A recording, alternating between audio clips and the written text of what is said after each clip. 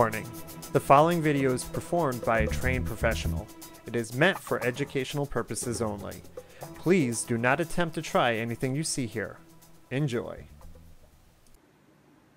Hey everybody, Dan from South Hawk Computing here today, and uh, in the shop we got a Toshiba satellite, what do we got here? C655-S5082. Uh, we got it from a customer, and basically they were uh, not happy with the performance. So um, we kind of, you know, do the, the standard solid state upgrade here. But in this case here, this particular model, as you see here, only has an Intel Celeron um, 2.2 gigahertz processor. Uh, the bad news is it's not the greatest processor, as well as it only has a single core. So nowadays, if uh, your laptop doesn't have at least two, your performance is really going to suffer. So, um, you know, I sometimes tell my customers, you know, it may not even be worth investing the money into this because nine times out of ten, you can't upgrade the CPU. But um, we have to go do a little lookup on this particular model, and uh, turns out you can. So we're going to be replacing that Intel Celeron uh, 2.2 gigahertz there with a Intel Core 2 Duo, uh, checking my notes back here, uh, T8300. Whoops, I hit the wrong button there. But uh, what I was trying to say, we're going to replace that single core uh, Intel Celeron processor, 2.2 gigahertz, with a Intel Core 2 Duo uh, processor. It's a T-Series. Um, I can't exactly remember what it is right now because I don't have my notes, but uh, no big deal. Uh, we're going to do a benchmark. We're actually going to do two. We're going to do the solid state uh, right off the, the bat and do a speed comparison on startup time. And then after that, uh, we're going to do it again with the CPU. We're going to notice the most significant boot type increase with that solid state drive. But I have a funny feeling the upgraded processor is also going to help with that. So um, yeah, let's uh, let's head right into it. We're going to clone off that uh, solid state drive and then do the benchmark. We'll be right back. Okay, we're back. We're going to do the current benchmark as is with a clean uh, Windows 7 uh, Home Premium install. So here we go.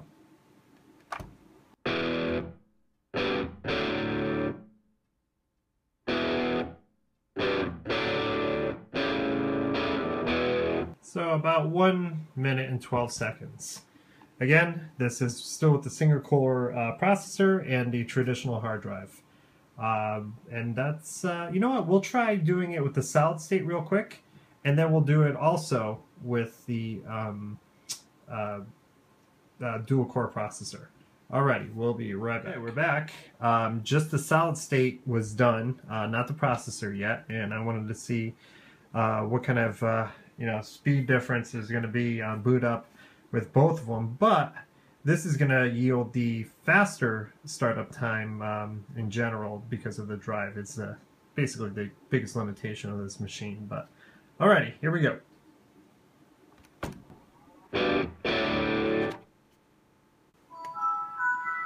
About 22, 23 seconds. Not bad at all. Alrighty, we're going to do the uh, time lapse now on the CPU upgrade. We'll be back.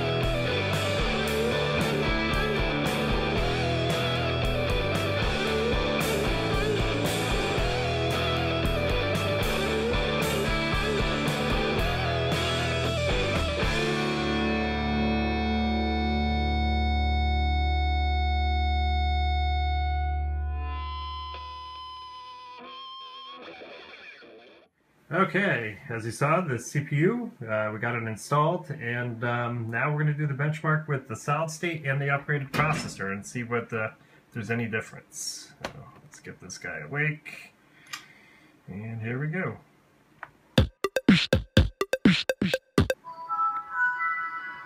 Huh. About two, uh, 19 to 20 seconds, so we'll say two seconds uh, uh, startup increase. Not not too bad. Um, and to give you proof here that we actually upgraded the CPU, I'm going to go over here, and um, there you have it. It's now an Intel Core 2 Duo a T8300 series at 2.4 gigahertz. Um, and something new that we're going to try doing so you at home can compare and see what your uh, your laptop falls under. Um, I'm going to be doing Nova benches, and um, yeah, let's go ahead and run it, and you guys at home can compare it to your system to this and see where you stand. So uh, we'll speed up uh, this uh, for you right now.